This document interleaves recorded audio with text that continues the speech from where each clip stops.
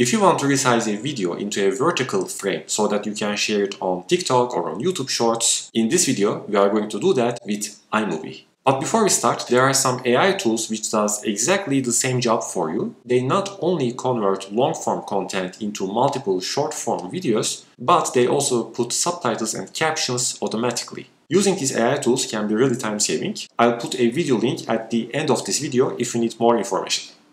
Okay, so first up we have iMovie, a video editing tool for Mac users. So let's resize this video to a vertical video using iMovie.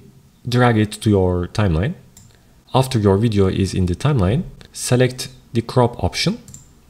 Now here, firstly, we need to rotate the video with one of these buttons here to the left or to the right side.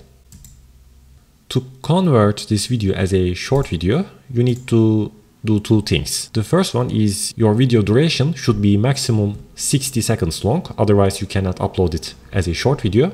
And the aspect ratio should be 9 to 16. Currently it is 16 to 9 as a standard video. Even if I have flipped the video here, we are not currently done yet. After you flip this video, you can either select your crop to fill option. Then you can pick here the most important part of the video and put it inside this white rectangle box. Okay, so let's say that I pick directly the middle of the video. Now if I play it again, we can see the car in a much larger scale. But the issue here is that I'm not able to see the whole video, so maybe we can do some little arrangements. If you select the Burns option, then you can start the video somewhere, let's say somewhere here, and you can end it somewhere here. If you choose this method and play it again. Now, if you look carefully, after I start playing the video, the video also started to move from top to down rather than staying on a fixed location, so we will be able to see a much dynamic video like this. After you are finished, now you need to export the video like you're exporting any regular videos here. You can pick here the resolution, the quality, and let's export it. Okay, now we have exported the video.